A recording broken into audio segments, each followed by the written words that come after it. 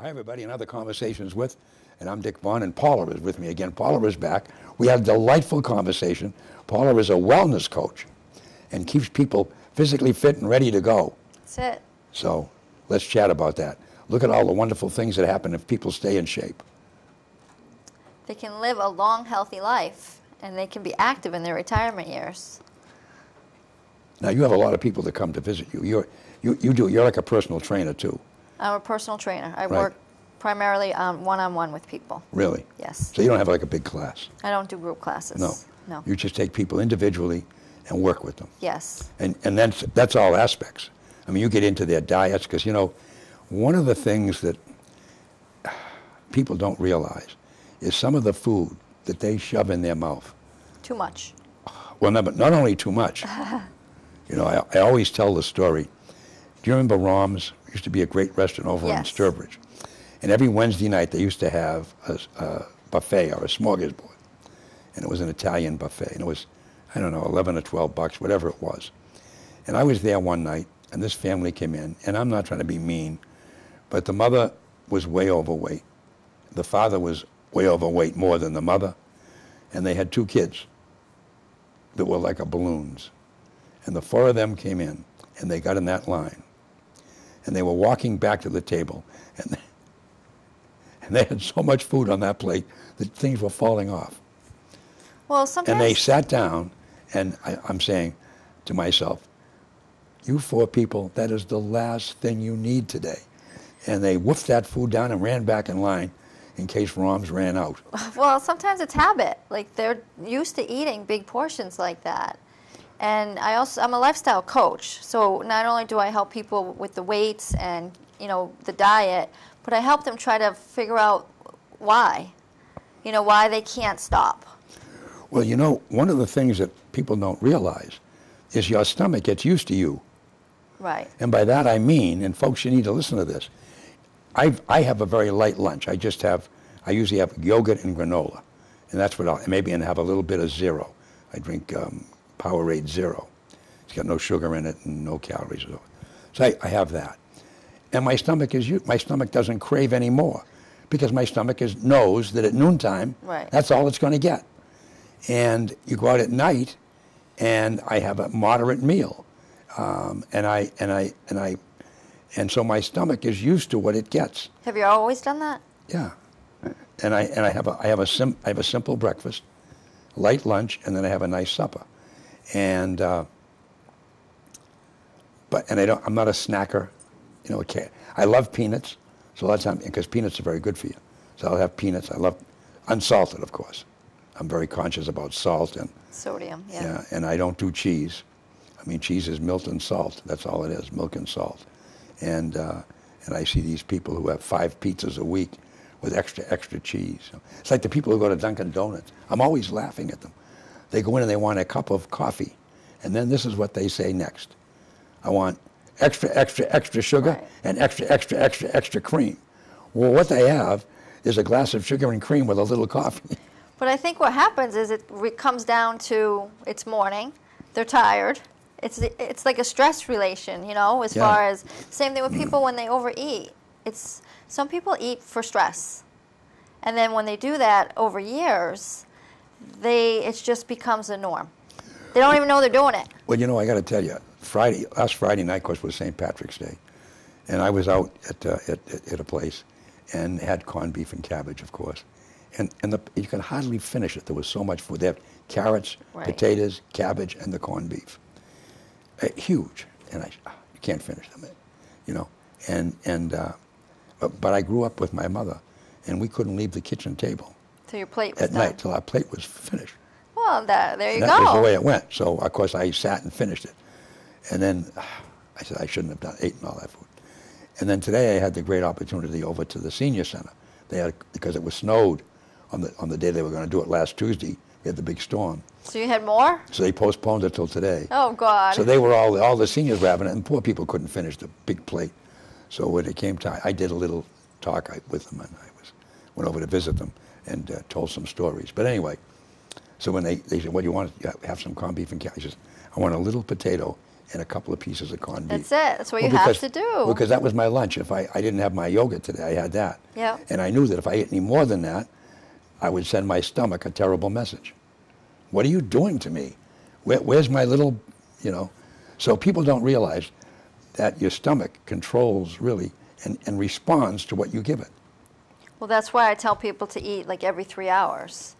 So you feed yourself enough where it's going to keep your body full, but then three hours later, you're going to get some more, so you don't have to over. So you're not a breakfast, lunch, and dinner person. No. I mean, I believe in breakfast, lunch, and dinner, but I also believe in snacking in between. What kind of snack? Like you have, like the yogurt or um, some hummus with carrots. Um, oh, light stuff. Yeah, yeah, just Oh, light okay. stuff. I mean, nothing Not- processed. Not, not potato chips. No snacks like that. No, it's all healthy. Pretzels, you know, potato just chips. something mostly that contains some kind of protein and a carb and a healthy fat. So usually they'll have like like I said, some hummus and some carrots, which the protein is from the chickpeas and the hummus, and then they'll have lunch at like say 12 o'clock. Yeah. Then they'll have another snack three hours after that, and then they'll have dinner, and then that's it. See, the other problem I have too is I can't, well, I can, and, and there are occasions when I have no choice. But normally I try to eat between five and six. Yeah, I Because recommend. if, because if I eat after that, I, I can't go to bed unless I stay up at least two hours after I've eaten my dinner. right. And that's for a lot, that's everybody. But most people don't know that and don't follow that. Well, what I But if tell people to do is try to get dinner in before 6:30. And they all tell me that it's hard, and I understand that because we all have busy Oh, lives yeah, and a lot work of, lot of women commuting. are working today, that's right. So what you have to do is switch it around. You have to start having your bigger meals during the day, so that you're having maybe your biggest meal at lunchtime, and then you're having you know a big meal at breakfast. So when dinner time comes, that's when you're having that salad with a little chicken on it, instead of having that big meal at the end. Right. So therefore, when they have all their calories during the day, that's when you need them. You need them for fuel. Oh, yeah. You know, you need your carbs. Carbs are for energy, so you need those during the day. So then you don't get that sugar crash, and you're not running over to the vending machine. And that's why when you eat every two to three hours, it helps that. So no food after 6:30. No, I, and I and I agree. No snacking. If I do, if I have something later, um, if I have dinner later, if I get tied up or something at meetings or something, then I have to sit up for an hour and a half to two hours. Because if I go to bed, it's right there. Yep, it takes four hours for carbs Yeah. to digest. Yep. That's a long time. Yeah, it is. And and and you put strain on yourself if you just go right down and lay down Right. because it just sits there, you know. And you're just And- getting rid of that. And then you're firing a Zantac at two in the morning or one in the morning. I don't do those because I don't eat that way. Well, that's all right. You're fortunate. If I if I if I eat late and go to bed, I gotta eventually go to bed, and and I wake up at, not as much as I used to because I'm very conscious of it now. Much more conscious. You know, when you're young, you sort of throw caution to the wind. and, Well, you know. yeah. But at any event, at this stage of my life, I'm very careful. I uh, I take very good. I try to take very good care of me. Uh, because I kind of put myself first. Well, you have to because Yeah. your body took care of you when you were running around Oh, doing crazy yeah, that's things, right. and now it needs you to help. So the first fifty, I'm an old star, see. I'm, it carries you. I'm an old star, see. the next Can't- fifty, you yeah, got to carry it. See, I wear this to remember those good old days. I like that. You know, remind me of the good old days. Uh, but but no, really, um, the, the the the thing is that I think one of the tragedies is, you know, yeah. Let me share something with you. I happen to be at the hospital recently, and I've noticed something that's really very disappoints me. Eighty percent of the female hospital personnel, and that includes RNs, are overweight. I, I sat there and I was looking for a thin hospital staff member so I could share that information and ask them why, why 80% of the women hospital personnel are chunky. And I'm being kind when I say chunky. You know, and if you go to a hospital, look at some of the sizes of some of the RN Yeah. and, and hospital personnel. And you would think that with, with the dietitians and everybody else that they have in a hospital, they would be in their faces to, to slim down. Well, I think it's long hours. They're working. I know I have a lot of clients that are from the hospital, and Yeah. they're working just 12, 12 hour days. Oh, they, yeah, they do 10 and 12 hour shifts. Yeah. Yeah, they'll do four 12s. So you have to find a way. If you're going to work those kind of hours, you've got to find a way to get the exercise in. Yeah, well, that, well, they get exercise. They're running up and down the hall. Well, that's not around. the exercise that's helping. No. But no, but uh, do you agree with me? Absolutely. I Oh, mean, our I- healthcare industry providers are horrible. Oh, yeah. Yeah, they're not sending any No, sending no, any kind of message. And you know who else is, is, is similar? Is police and firemen. Mm-hmm.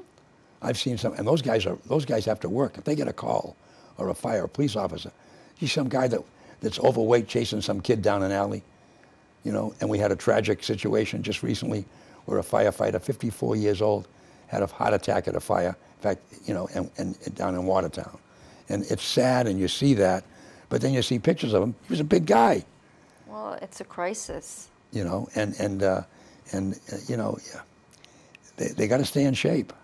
You need to move more, eat less. Yeah. It's hard, but you have to fit it into your schedule. Well, you, Which you- is why they come to me because well, let's let's talk about that. Someone comes to to you, Paula, and says, "Hey, uh, here, I, I want help." Wh- How do you what do you do? How do you start with them? What do you say to them? Well, that's why they come because they need help, and that's one of the first things they say in the phone conversation Yeah. when they call up is they really need someone to jumpstart them, to get them back into that groove. So what I, I mean, do you have to get in their face sometimes? Um, well, I pretty much sit down and tell them with them, and I help them identify, you know, where their weaknesses are. As far as I'll get like a lot of excuses in the beginning, Oh yeah, like I just gave them to you. You know, I work long days. Yeah. I work. which has um, got nothing to do with it. I work 12-hour days. Which has got nothing to you do with it. You know. I got a busy schedule, Oh, yeah, and so- so I can't get to the gym. All that Yeah. stuff. Um, I'm really big into teaching people how to food prepare their food for the week. So taking some time on the weekend to make sure that you have your food cooked for a couple days, so that it's not you're not rushing back to work after a busy weekend, and then Monday comes and you, what are we having for dinner? So now you're at the Applebee's drive-through, or Yeah. you know you're doing something like that where you're going to start now you're going to start your your cycle of the whole week being going downhill. So I try to teach people that they have to w- spend some time on the weekend getting their food ready, like making some hard-boiled eggs, cooking some chicken, maybe throwing out some oatmeal in the crock pot. I have a great recipe for um, crock pot um, oatmeal that cooks overnight. So I started teaching them different ways and give them, you know, strategies to get answers to their excuses, so that they can start really thinking about it. But you see, you know, I, I, uh, I, I'm always reminded when you, and you just touched on it, there's a word in my vocabulary that I really don't know what it means. And the word is can't. Can't. I don't know what can't means. Now look, I know that if I run in front of a big truck, that I could get killed or injured. But don't tell me I can't do it, because I can. Right. So there are some things I choose not to do. Well, that word's not But allowed don't tell me say can't. Well, I'm glad to hear that It's not because allowed. it's a it's a word that everybody uses. I can't do that. No, you don't want to do it, and then they get mad at me when I say, no, no, you don't. You, you you don't tell me you can't do it. You can. You just don't want to. Oh no, I can't. I don't have time for that. I said, time out. Right. You're going to make. You're making. And then I tell them a story about my dad. We had a big lilac bush in my my driveway, in the driveway of our house, and it grew in the summer. Of course, lilacs come out in Love them. April. I love them. Yes. And my father used to get a new car every two years, and he was very, very proud of his automobile. Every two. Every two years, trading it. Oh well, because he got better deals. His car was uh, worth more trading it in, and blah blah blah. But anyway, that was him. So he had a new car every two years. He was very proud of his cars. And he said to me one night at supper, and I'm only a little kid, I'm 12, 13, and he says, son, now my father was a commander in the Navy, served in both World Wars. He was in France in World War One. So he says to me at supper one night, no, son, I drive in the driveway and the lilac bush is brushing my car. So do you think tomorrow that you can go and trim that back so that that won't happen? Sure, Dad, I can do that. So the next night, we're sitting at supper. And we had to be at the table, 5.05, because that's when he got home at 5 o'clock. You better be sitting at the table, ready to go. So we go through supper, he never says a word. At the end of the supper, he says, oh, Dick, before you leave, I need to have a little chat with you. Sure. He says, uh, we had a conversation last night about that lilac bush out there. And you indicated when I asked you that you'd be able to do that today. And I came home tonight and the lilac brushed my car again. And I noticed that you didn't do it. Dad, let me tell you what happened. And I go into this big story about a baseball game. After school, the guys were all going to go play ball, and I went. How, how could I not go? Right. I'm the best second baseman they got. And I tell him, and we won the game, and I tell him. So he lets me finish the whole story. And he leans over and he says this to me Son, there may be 10 reasons why you didn't do something, but there's not one excuse acceptable. Don't ever make another excuse again. Oh, there you when go. you tell me you're going to do something, I expect you to do it. Now, can we get that done tomorrow so that when I come home at 5 o'clock, it won't brush my car? I got his message. yeah, right. It got done. But the point I'm making is, he's right. There may be 10 reasons why you don't do something, Right. but there's never one excuse. And we are a great nation of excuse makers. You know, and, and we can figure out ways to justify anything. Absolutely. Well, I get Yeah. that word all the time. You know, they'll be like, I can't, I can't. I'm like, you got Ooh. two more. And I'm like, no, we don't use that word here. You can. I don't know what it means. Two more exercises. Go, go, go. Yeah. And they'll be like, no, I can't, I can't. I'm like, you can. And all of a sudden they go up. Yeah. they can. Yeah, That's what I do. I tell them they can and they get them done. that's right. And there's no, and, and even, even in the foods they eat, you know, yes, you can. Just don't, I mean, I don't eat fried foods. It takes a while to get the food because the fact that We're conditioned. we're conditioned and you know most of the people that come to me are older my age so i can't say older but they're and they're we've done the stuff for so many years We're conditioned. We're, we're, we're, we're, it's drained into us. You know, but as we get older we don't need all the calories we I'm reading, I'm reading some great books. Uh, they're by Don Miguel Ruiz, and it's the book that Tom Brady read called The Four Agreements. Yeah, and then there's, that. there's four or five Yeah. offshoots of that book called The Mastery of Love and The Fifth Attachments and so forth. And um, there's a whole series. And I'm in the third or fourth book. They are wonderfully motivating and they're amazing. But, it, but he talks about how we're conditioned. We are, we are born, we have no choice where we were born. We have no choice who our mother and father is. right We, we are brought out, brought into this world in a, in a hospital most cases, sometimes in the back of a truck or a car, whatever. We are born. And then we are conditioned by them. We are brought up by them. We do it their way as little kids. That's how we're taught. And, we have, and, we, and everything is a reward and a punishment. If you're a good girl, I'll give you a lollipop. If you're a bad girl, you got to go stand in the corner, or Right. a boy. And, and it's reward, punishment. So we are brought up like that. And, and it's a reward and punishment system. Even the government rewards you or punishes you. You, know, you speed, you get a ticket. well some people still reward themselves and it's usually Well, ice cream or I, I got it. I got it. I mean, I have a situation. My dear wife loves ice cream, as do I. I could sit down and eat a quart of ice cream at night and just have a wonderful time and love every spoonful of it. But I don't. I Right. don't do it at all.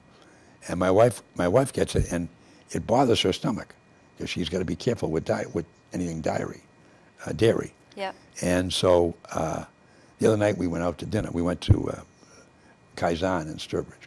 And we're going home. She says, wouldn't you like an ice cream? Well, I said to her, they have a frozen ice cream. Uh, I mean, a, uh, um, yogurt no, they have a, um, it's a, it's a fried ice cream.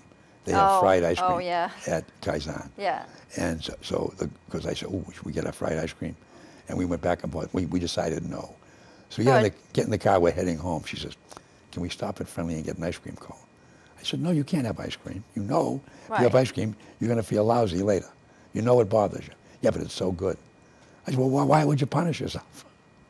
Why would you do it knowing that an hour and a half from now, your stomach's going to be killing you, yeah i don't get that you know? And Did I, she get it? No, I kept driving. Good. I, I said no. right No. As much as I would like to have one, I said no. Because I don't, I know it's not good for me either. you know.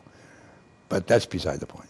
You know, it, it's and, and we do things to ourselves, you know, and and uh, and then we can't understand, you know, I, if you always do what you've always done, then you'll always get what you've always got. Right. And most people can't handle that, you know. Why would you do the same thing over and over and over again well, I, and, and think you're going to get a different result?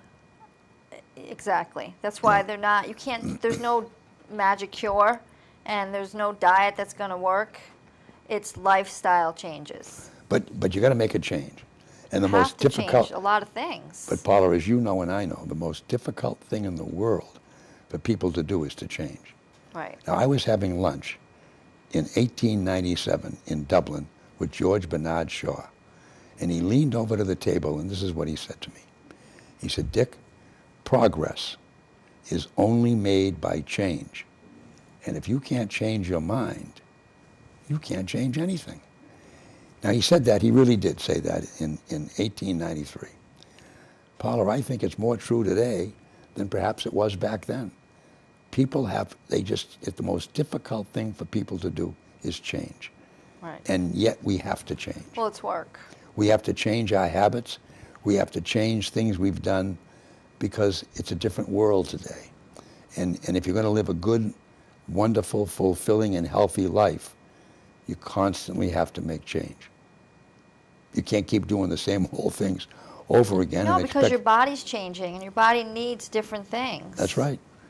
I mean, I love green. I love string beans and broccoli, and I'll go out and I'll have a piece of fish, and I'll get broccoli and a little potato and whatever, and and uh, and I love fish. I happen to enjoy it, uh, and I have maybe fish two or three times a week. I eat very rarely. Do I have beef? I eat a lot of chicken, turkey. I like turkey, chicken. I've, I'll have veal once in a while, and, and pork occasionally. You know what I had the other night? I haven't had for a long time was lamb chop. Oh, don't like Lollipop lamb chop. You don't like them? No. Do you ever have a lollipop lamb chop? Oh, you gotta have them. They had them at Kaizen. I, I, we had them. Get four of them. And, I go there for sushi. yeah, well, that's that's what I get. I like Red Sox. That's what I get. Oh, the Red Sox I roll. get, I yeah. get Red Sox. It's one of my favorite restaurants. Really? That's good. So you go there more than once a week. Oh no, no. I usually only go there twice a month Oh, that's all right. because I try not to eat out Okay. because it's Well, you know, one of the things I'm always nervous about when I go, you read these articles, that most sushi restaurants are not honest. And they say they got this, this, this, and this, and it's some kind of plain fish. And they tell you it's whatever it is, but it's, it's really not. Oh, and they, great. Yeah, about 30% of them. They buy cheap fish, and then they use it. I think everything. Kaizen's the best. Oh, Kaizen's excellent. Yeah. Oh, I, I, no question. And I try to go maybe once a month. We go in, you know, and uh, and uh, and I really enjoy it, you know. Just gotta stay away from that fried ice cream. Well, we don't. We didn't. We didn't do it. we didn't do it. No, it is. We didn't do it. But anyway, so let's. You know, one of the things that you. So now people call you up, and they come and talk with you, and you sit with them, and I mean, you can tell in some cases, they've already got a problem when they walk in, Right. and and uh, now is most people concerned about their weight? No, there's um, a lot of people that are concerned with the fact that they're losing strength, that they're not as strong as they used to be, and they don't have to lose weight. Like they're not able to do things like they used to. You know, even like a flight of stairs. Even if it's not, they're not overweight, they're noticing a difference as far as getting up the flight of stairs. My hand is up. But what can you do for them? I mean, how can you? work their muscles. So what we do is your leg. We work a lot with your leg muscles, and we put the muscle back on. So um, like your quads are your biggest muscle in your body. So I do a lot of le- um, leg strength, leg exercises, um, and I do a lot of butt work because that also supports your lower back and your back and your legs. So all by enhancing all those muscles and putting strength back on, then your body can move a lot better. Really? Yep. So So, there's- primarily, that's what I do. I teach people how to put muscle back on their bodies. Wow. So that can be done. It can be done, and it's never too late. It's never too late to put muscle on. But it's a lot of work. It's work. Yep, it's work, but it's So they have, they would have to do an exercises like every day. No, you want to give your body um, a day of rest because it's what we do is we break the muscle down in my studio, and then when they leave, it's when it actually comes together and it repairs itself. and that's where the muscle grows. So it's every other day. So when people come to So me, like they'll come to you like once a week? they have to come to me at least twice a week. Um, so usually it's a Tuesday or Thursday, or Yeah. Monday, Wednesday, Friday, Yeah. Or Tuesday, Thursday, So Saturday. then, so then what do they do after that? Like for, let's say they do Tuesday and Thursday. That means they're going to be by themselves Friday, Saturday, Sunday, and Monday. yeah, I give them homework. So then they have to go home and do they do like, I'll give them different Exercises to to, do at in home. between. Yeah, I'll give them a, a notebook and we'll, I'll give them homework, and um, I'll teach them. So I'm going to teach them about their food, and then I'll also teach them how to do this routine. So it's two exercises per body part. So we go head to toe, and then I teach them how to put the muscle on each muscle. So what we do is we start with the legs and then we work our way to the back and the bicep and the tricep and the shoulders, all your main muscle groups. And then they'll do their homework. Like say they come to me Tuesday and Thursday, I'll give them some homework on the weekend. They'll come back on Tuesday. yeah, In the meantime, I make everybody do exercise while they're home. They have to do a minimum of 30 minutes of something every day. 30 minutes? Yep, 30 minutes. I want them to do um, brisk walk or Do they have to do it in, in, in one 30-minute stretch, or can they do two 15s? I'll take anything in the beginning. I'll take the, you know, I just want people to start moving. Yeah. And I mean, what we do, and we haven't started yet because of weather, but hopefully once the weather breaks, we usually go, I, I took my car and drove. So I know that once around the neighborhood you're- yeah. is a half a mile. So we go twice around, that's a mile. And once we get into the weather, You'll you do know, that, and as, yeah. as we go out every night, and we'll do that one mile walk. And it takes us about between 20 and 25 minutes, depending on our pace or if we stop to look at the sunset or whatever, you know. Oh, But- this time of year makes my job a lot easier because it's long. The light is the days Yeah, are longer. yeah, yeah. And people that don't own an elliptical or something inside, they have no excuse. so that it's right there. There's a road. Go for a walk. Yeah, oh, yeah, it's not hard. You know. You know, I mean, in the wintertime, if you don't have something at home, it's a little bit more difficult. But Yeah, well, it gets it gets real rugged. I mean, you go out if it's a cold night. Right. You know, December, November, and the January. ice too. Yeah, So. you got to be careful. But but normally, I mean, see, normally by now I'm walking, but the, with, we just got the snow again, and it's pretty much downhill. And then we're going to be cold today and tomorrow, and then it's going to be, you know, the weather's Right. still bouncing. But it, I mean, the good news is, uh, May is just around the corner. Exactly. know. As I have two feet of snow still at my house, Yeah. but it's right around the corner. Yeah, May's around the corner. oh, it's melting quick though. I know. You know, it's getting out of there. It's and uh, and it's it's it's working well. So that, but but there's hope. I mean, the good news is No, so it's two days or three days a week, and Yeah. what they do is they get their homework on the weekend, and it gets them going. It gets them disciplined. Um, they're being held accountable by me. Um, they're food logging their food, so we're going over what they're eating. I make suggestions on things that can be healthier, and then what happens is they they lose, they shrink, they lose inches oh yeah, I know. because I they're used to putting be the si- muscle on. I used to be six foot tall, and and when you as you get older, you do right, you shrink. you shrink. You know, so I know now I'm now five five ten and a half or five eleven. I'm, you know, I mean, my, my pants are too long. I have to be careful. You have to get them hemmed. I know. um, but but that's the the point is that we do. Our bodies change. Right. And we have to be We need to put the muscle back on because as you get older, the rate that your muscle is taking coming off your body is decreasing faster. So once you hit 50, it's like 1.5% every year you're losing muscle. And it just speeds up. wow. Yeah. So what I tell people when they come to me is I'm honest and I tell them that this is for life. You can't come here and think you're going to get a quick Yeah, fix and in two months you're fine. and you're going to go off and you're going to look great and you're Yeah. done. It's forever. yeah, Because as we're putting it on, we're losing it. yeah, So we have to constantly be putting it back on. yeah. And as you get older, you lose it faster, so you still have to be putting it on and you have to be eating all the right foods to keep it on. Keep it on. So there is like a science to it, and that's what I do is I teach that to them. Great. How do people get a hold of you? They can get a hold of me through my website at www.healthiswealthinvestinyou.com. You couldn't get a smaller one? That's my name. Okay. Health is wealth. Invest in you. Okay. There you go. Or they can um, call my cell, Okay. What's that? 508 397 3576. Good. So that's it. Another great program. Look at all we've accomplished. And we told these folks we're going to build their muscles. We're going to get them the right food, and they can call Paula and get it done. I look forward to it. Great. And we'll have, have you back next month. Okay, Can't sounds wait. great. That's great. There you have it, folks. Another conversations with.